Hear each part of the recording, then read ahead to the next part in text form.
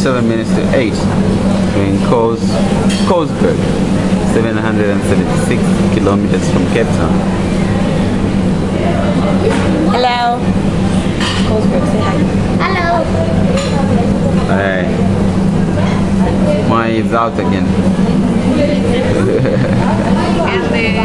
He told me about four in the morning and saying, I'm up already. I'm not sleeping. I'm not sleeping.